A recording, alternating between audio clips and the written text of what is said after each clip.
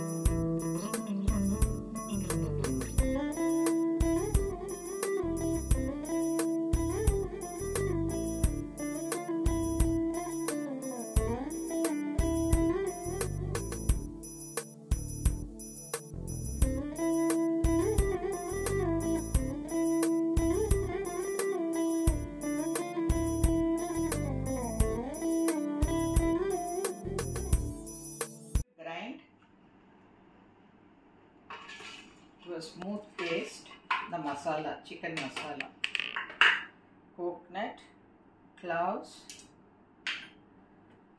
garlic ginger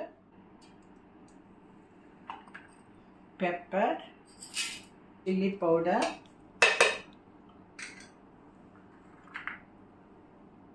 dhania powder, white onions,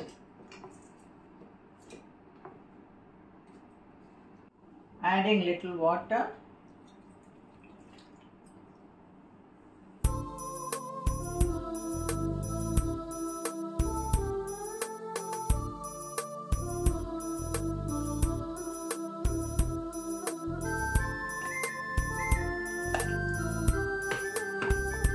The masala is ready now.